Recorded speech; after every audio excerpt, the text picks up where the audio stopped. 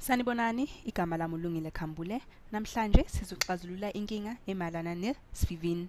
Ufuna ukwazi ukuthi kahle kahle izitimela mazishayela zishayela ngokusheshisa okungakanani. Kuze bazowazi ukuthi le zitimela lezishayela ngokusheshisa okungakanani, kumele bayenzeni? Bazobhala phansi isikhathi futhi ke nobude lokubakhambile njengoba bashayela nithi labashayeli abayi-4 bazobhala phansi ubude futhi nesikhathi lesabasihambile njengoba bahamba bayashayela izitimela zabo yabo? Kodwa ke into esiyinakile yini? Ukuthi le khathi lezi azifani. Njengoba le khathi zingafani akukho lula ukusho ukuthi kahle kahle le zitimela lezi zihamba ngokusheshisa okungakanani. Ingakho ke sizo sizoxazulula lesibalo lesi ukuze sizokwazi ukuthi le zitimela lezi zihamba ngokusheshisa okungakanani. Ithi nginikhumbuzeni ukuthi ubude bendlela sikubala ngokuyenzani ngokuphindaphinda isivivini futhi nesikhathi saleyo moto noma isitimela yabo? Mhm. Kodwa ke thina sifunani? Sifuna isivivini. Ingakho ke sizo sizohlukanisa ngesikhathi kuze sizothola isivivini. Isivivini sizosibala ngani? Sizothi ubude bendlela bese sihlukanisa ngesikhathi ukuze sizothola ini? Isivivini. Ngiyacabanga ukuthi ninake nezwa ukuthi bathi imoto ishayela ngesivivini esifana nabo 100 kilometers per hour. Uyabo? Yiloko esikhuluma ngako ke sikhuluma ngani? Ngobude bendlela bese sihlukanisa ngesikhathi yabo manje ke kufanele senzeni? Sithole phela isivivini salezi zitimela ezine. Khona sizobona ukuthi kahle kahle bashayela ngokusheshsha okungakanani uyabo? Mhm. Manje ke sobhala eceleni ukuthi isivivini anithi mhm. Isitimela sokucala sizoyenzani? Sizo hlukanisa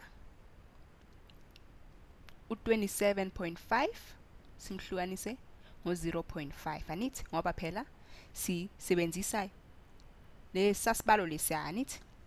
Lokuyafana nokuthi uthini? 27.5 phinda phinda ngo2 ngoba phela u0.5 kuyafana nokuthi uphinda phinda ngo2 anithi? Impendulo yaleyo yini? U55 sesiyazi ke ukuthi isivivini se stimela sokucala u55 futhi ke leso sibili aloku kulula kakhulu ngoba senzani? Sihlukanisa u55 ngo1 futhi siyazi ukuthi bohlukanisa ngoma yini ngo1 leyo mpendulo ayishintshi ihlala injalo yabo? Ngakho ke sothi 55 asiye kule yesithathu sizothi kumele sihlukanise u82.5 ngo 1.5 phela u82.5 yini? Ubude bendlela bese sihlukanisa nesikhathi. Sitholani ke masihlukanisa u82.5 ngo1.5 mele manje senzeni? Senze i-long division. Ukuhlukanisa kwethu sizokuhlukanisa ke manje u82.5 sotholani. Kuze kube lula mele sisuse idecimal yethu siyise ngapha kwesokudla. Ungakhohlwa ukuthi bosusa ngapha. Mele uyenze futhi naloko ngaphakathi uyisuse uyise ngale kwesokudla. Nithi manje ke sokulula ke manje ukuhlukanisa. Sizothini? U15 uyangena ku8 akangeni. Kodwa ke uyangena ku82 ungena kayi?